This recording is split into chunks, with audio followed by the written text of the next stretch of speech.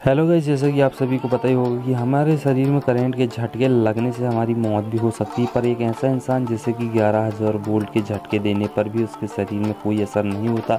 जी हाँ गाइस ऐसे ही एक इंसान के बारे में इस वीडियो में बात करने वाले हैं, जिसका नाम है दीपक जांगड़ा, जो कि हरियाणा के सोनीपत में रहते हैं। इनका कहना है कि ये ये हुनर उन्हें भगवान के द्वारा दिया गया है। इनके शरीर पर बहुत सारे एक्सपेरिमेंट भी किए जा चुके हैं और ख़ुद दीपक जांगड़ा ने जो है जानबूझकर अपने शरीर पर काफ़ी सारे करेंट भी लगाए हैं। पर उनके शरीर पर अभी तक कोई भी करेंट का असर नहीं हुआ है और ना ही ऐसा पता लगाया जा चुका है कि उनके शरीर पर आखिर ऐसा क्या है।